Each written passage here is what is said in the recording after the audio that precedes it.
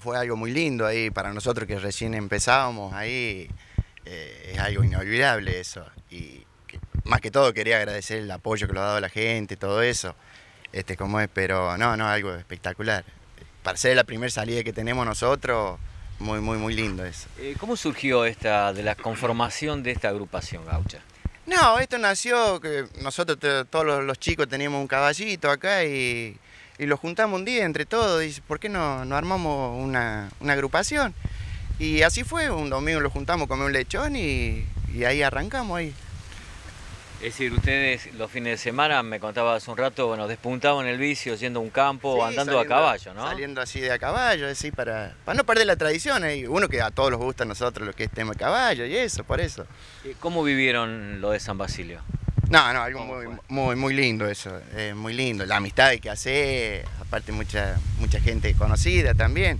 Este, como no, fue algo muy, muy, muy lindo eso. Eh, sabemos, bueno, que esto requiere de, muchísimo gasto y además también de mucho movimiento. Sí, sí, eso sí.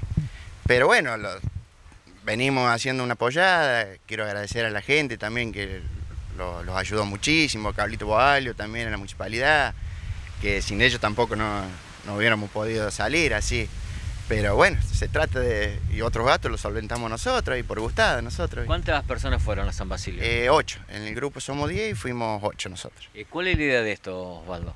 Nada, que no se pierda la, tradición nuestra, eso, porque cada vez se, está perdiendo mucho esto. Tampoco vamos a lograr revivir todo esto, pero por lo menos que quede algo. Para, un puntapié, digamos. Un puntapié para el que se quiera ir sumando, todas las puertas abiertas, eso, eso es lo, lo importante, ¿viste? Eh, Luis Aguirrezábal, el Popo, bueno, ustedes, em, uno la conoce la agrupación Luis cuando en la fiesta de pollo al disco lograron un segundo premio. Sí, así que justo como decía Viñolo, como un domingo, viste, yo de chiquito que desfilo y vine y le propuse como los amigos, el Quesito Reyes y el Marito Gaitán, y ya habíamos desfilado, viste, en otras agrupaciones de chicos, decidimos, para que no se pierda esto, que sea porque yo ya hace unos años ya tengo la invitación de ir a desfilar a Jesús María y ese es el propósito que quiero tratar de poder llegar. Hay que trabajar mucho durante el uh. año para poder llegar, ¿sí? Y hay que, por los gastos, sería más que todo por mucho gasto. Gasto de flete, tiene gasto para los caballos, de todo. Así que queremos tratar de ver y también hacer una fiesta que quede que quede como en el verano, viste, que apunte que sea que día de la agrupación y que represente Maquena en otros lados. ¿Y cómo, bueno, vos que ya venís de una manera junto a tu familia, el otro día hicimos una nota con, tus primos también, lo que tiene que ver con la música, em, de alguna manera revalorizando lo nuestro, ¿no? Como lo que, lo que sentiste en San Basilio. Y pasa que es una cosa muy linda.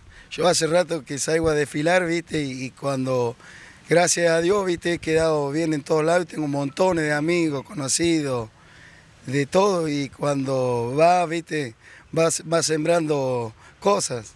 ¿Hay alguna invitación cerca ahora, en las próximas horas, próximos días? Tenemos el 4 de abril a Monte Los Gauchos, después a Delia María, la fiesta del gaucho en Río Cuarto y en Serrano. ¿Y tienen pensado ir? Si podemos, habrá que trabajar para poder ir a todas. Eh, una pregunta, eh, ¿por qué Aituel? Sería porque es hombre que ama la tierra. Eso es el idioma, el idioma ranquel. Tierra que uno ama. Tierra que uno ama. Bueno, la verdad que lo felicito por esto, recién hablamos con Osvaldo, que qué interesante, más allá de la música que hoy tenemos y bailarines, estas agrupaciones que se vuelvan a, a rejuntar y a salir y a, de alguna manera que Maquina no pierda algo de la tradición tampoco, ¿no?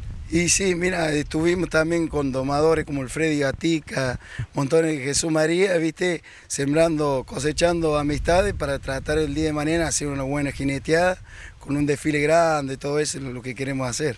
Bueno, ojalá se dé. Muchas gracias, Luis. No, gracias a vos, Roque, y déjame agradecer a Carlito Guailo, a la Dirección de Cultura, a la Municipalidad y a la gente que por ahí con la tarjetita los colabora para comprar los pollos.